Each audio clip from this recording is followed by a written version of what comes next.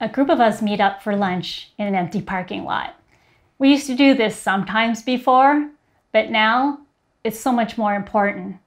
For all of us, we really need the time to connect. Sometimes we even call each other when there's a hard visit. Home care really is isolating. It's just you and the car between visits.